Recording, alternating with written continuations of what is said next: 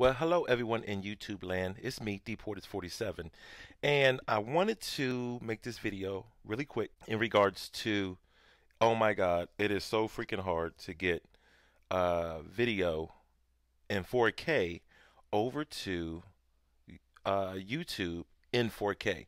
So I shot some test video. Here's the video right here, and what I'm going to do is I'm going to what you have to do in order to make this work is you actually have to airplay it to yourself. So if you don't have a Mac, I don't necessarily know how you're to get this there. Actually, you have to airdrop it. Sorry.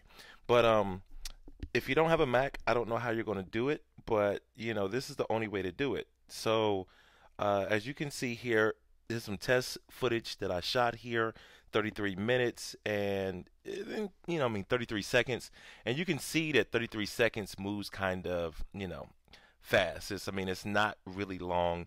Um, the more that you shoot, the longer it's going to take. So be prepared to, um, you know, have a lengthy time frame in regards to your uh, 4K video over to your computer through the airdrop. So after I get this uploaded, what I'm going to do is I'm going to take it over to YouTube. I'm going to upload it and it's going to be in 4K.